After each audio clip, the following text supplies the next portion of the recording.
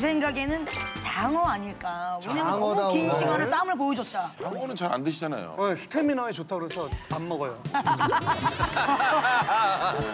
물. 과유불급. 현우도 장어 좋아해요? 아 그럼요. 많이 먹어야 돼요? 아, 어때요? 아 뭐 그렇게 많이 먹어도 되는 네 네. 아 이거 뭐 맛으로 맛으로. 거. 네, 그냥 딱 적정 양만. 네, 과유 불급. 어, 과유 불급. 왜냐면은 기름지기 때문에 많이 먹으면은 또 탈날 수도 있어요. 맞아. 그뭐 결정하시죠. 저는 심지어 어제 장어를 먹었거든요. 어, 어. 먹었어요. 어, 그럼 좀 이따 안 먹으면 되겠네요. 안 먹으면 되겠네요. 많이 먹어야 돼요? 많이 먹어야 돼요. 저는 많이 먹어요. 공식 발표입니다. 난 장어 많이 먹어야 돼. 어, 잠깐만. 예. 현우 씨랑 루다 씨가 현우랑 정해주세요. 장어인지 밴댕인지. 장어냐 밴댕이냐? 저는 많이 유출을 한 것 같아서 여기에 힌트를 쓰는 게 어떨까. 어, 아예 몰아가자, 이쪽으로. 장어는 뭐 과유불급이라서.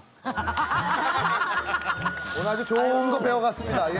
다 배우네. 오늘 아주 좋은 거 배워가요. 저는 요즘 입맛이 없어가지고 밴댕이를 먹고 아, 입맛을 좋아 좋아 좋아. 오케이. 밴댕이로 가요 밴댕이로. 찬스! 됐어요?